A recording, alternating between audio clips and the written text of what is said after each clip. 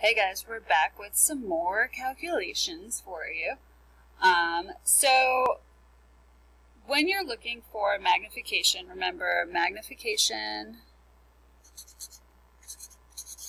is equal to image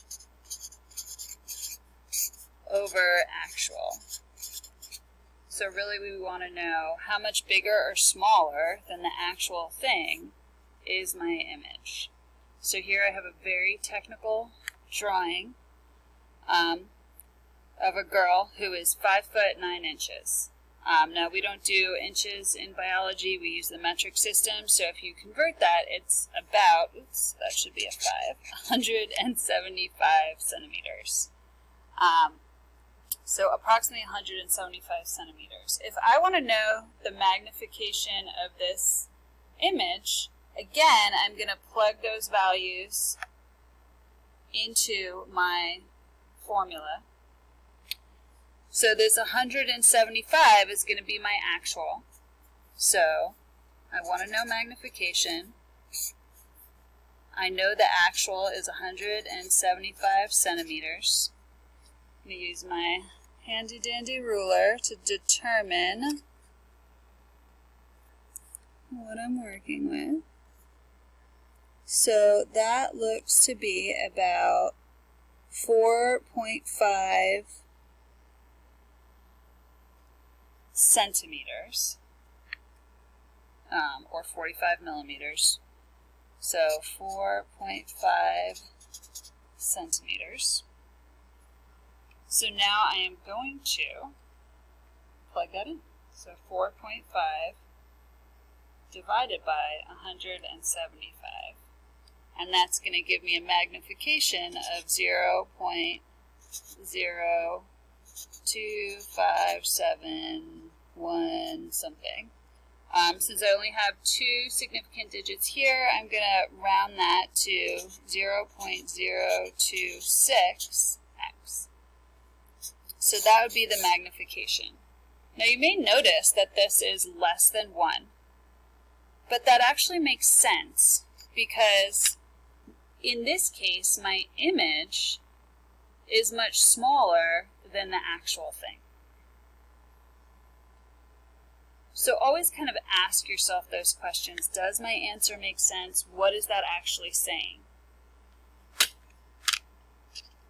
All right, so we're going to look at a couple of other examples of things that you might need to calculate. One of them, let's see if I can make this visible without the glare. That's a little bit annoying. Sorry. There we go. So here is an image of a euglena. Now, I don't know how big the euglena actually is. And I want to figure out what's the magnification of this particular image. So again, I have my magnification equals image over actual. But how do I figure out what I'm working with? Well, in a lot of images, micrographs or pictures, you'll get a scale bar. You might see those on maps as well. That scale bar is what you're going to use as your actual. So again, that scale bar is going to be the actual value because they're telling you that for this image, the actual is equal to 10 micrometers. So what I'm going to do for the magnification, so the actual here is 10 micrometers. I want to know what about the image. So again, I'm going to use my ruler and I'm going to actually measure it. And in this case, I get 9 millimeters.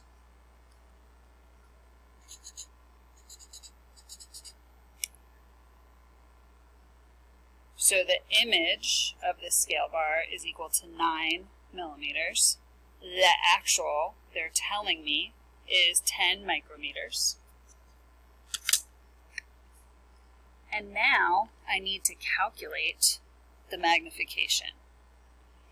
So before I do anything, I need to make sure that my units are all the same. So I'm going to go to millimeters. So I'm going to divide this by a thousand. So I'm going to move it one, two, three places. So that's 9 millimeters divided by 0.01 millimeters. And so my value would be 9 divided by 0.01 gives me 900x. So that is my magnification. Well, that tells me how much magnification I have here, but that's not telling me really how big the euglena is. So if I really wanted to know, I can go and do a little bit more calculating. So I'm going to use my ruler and I'm going to measure the length of the euglena. So I'm getting 55 millimeters. So 55 millimeters is going to be the length of the image. And I know the magnification, that was 900x. What I really want to know is the actual. So you can rearrange this formula or you can use your little triangle, the I am triangle. I know image and magnification. What I'm trying to figure out is the actual, and so it's image divided by magnification. So again, 55 millimeters divided by 900 will give me 0.061 millimeters. If I want to look at that in micrometers, I would multiply that by a thousand. So that would be 1, 2, 3, 61 micrometers. And if I look at my picture and I think about it, if that's the scale bar and that's 10, does that look like it's about six of those? Yes. And so now I can actually kind of make that distinction. So I'm going to do one more with you. We're going to look at some baker's yeast.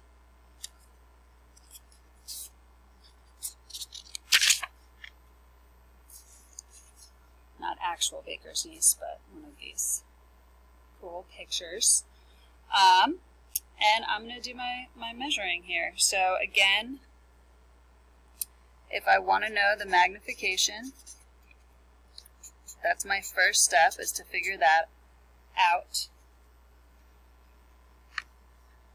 I'm going to start with the scale bar because that's always kind of what's going to give me the information I need. It's a known value. So in this case, the actual is 5 micrometers. And I'm going to measure that. And it is approximately 21 millimeters.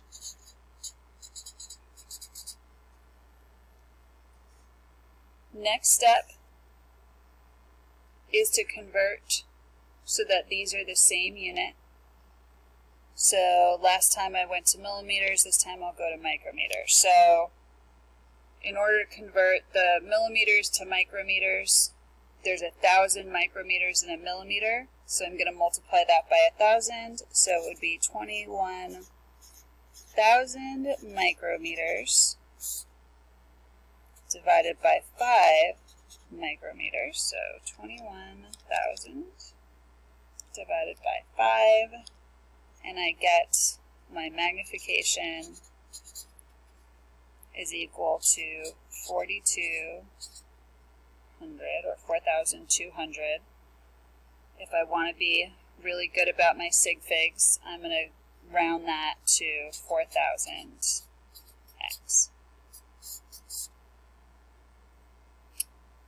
So if I want to know the approximate size of one of these yeast cells, I can go in and I can measure it. Right, so now I know my magnification, and I want to know how big that actual yeast cell is. So I am going to measure it, and it is 23 millimeters. So the yeast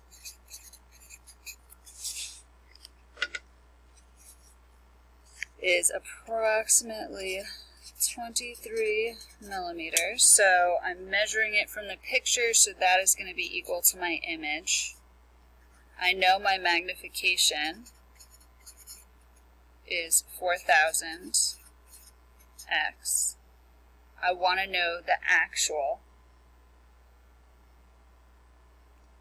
So it's image divided by magnification gives me the actual size of a yeast cell, approximately based on that. And so I have 23 divided by 4,000.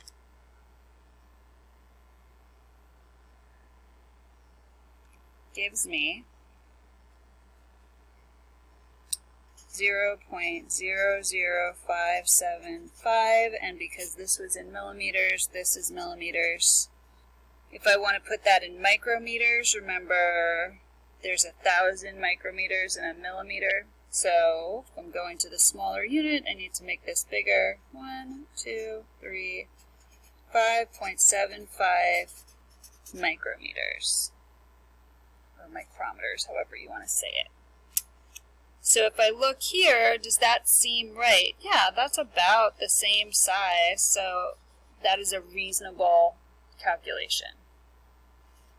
So I hope that was helpful. You're going to have a few different practice assignments to do with this. Um, I'm always happy to do some more examples, so if you get stuck, let me know.